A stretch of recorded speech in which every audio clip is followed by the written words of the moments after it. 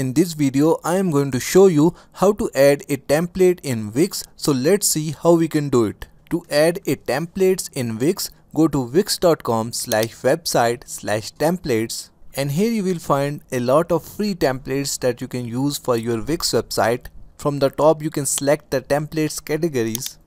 After finding the template which is best according to your own requirements, just hover over the template and then click on edit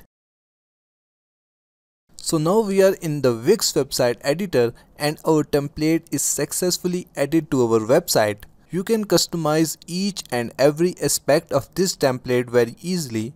Like you can change this background image, like you can change this text with your own text, you can change this button etc each and everything.